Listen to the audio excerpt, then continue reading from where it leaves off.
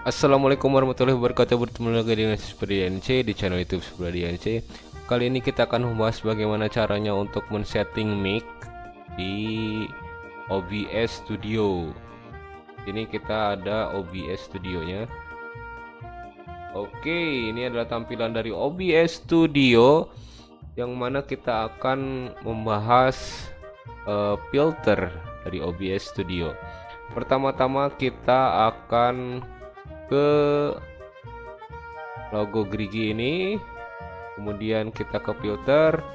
Nah di sini kalau misalnya teman-teman belum uh, uh, ada tambahan kompresor gain noise gate dan noise suppression di sini teman-teman akan kosong.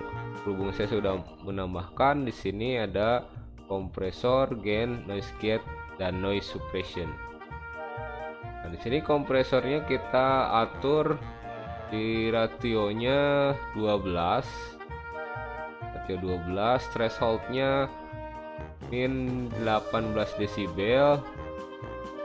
Attacknya satu aja 1 milisecond, release-nya 70 milisecond, output gain-nya 0 desibel dan tension-nya atau docking short-nya kita menawankan saja. Terus di sini gain. Nah, gain ini sangat uh, penting sekali karena akan mempengaruhi suara uh, akan mempengaruhi output suara dari teman-teman. Misalnya pertama kan ini kalau belum disetting ada di, berada di tengah-tengah dan kini kita saya rekomendasikan di 12 karena outputnya enggak terlalu besar dan enggak terlalu kecil ini kalau misalnya nyampe 30 itu terlalu kegedean nanti suaranya disember. Jadi di sini saya rekomendasikan di 12 atau 13 terserah.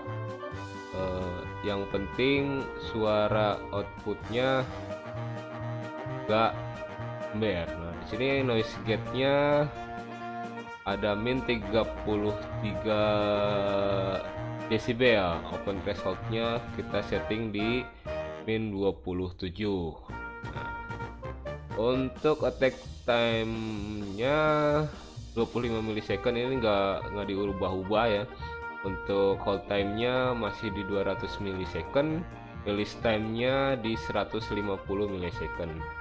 Terus kita tambahkan di sini kan ada tambahkan noise suppression. Noise suppression.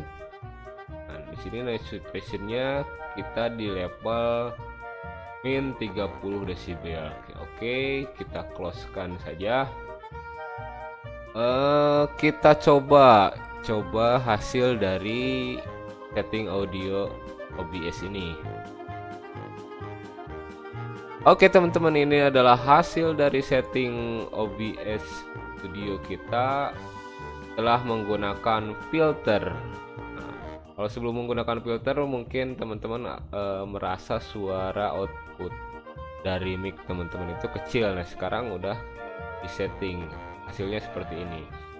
Kalau misalnya teman-teman suka dengan video ini, teman-teman bisa like, share dan subscribe.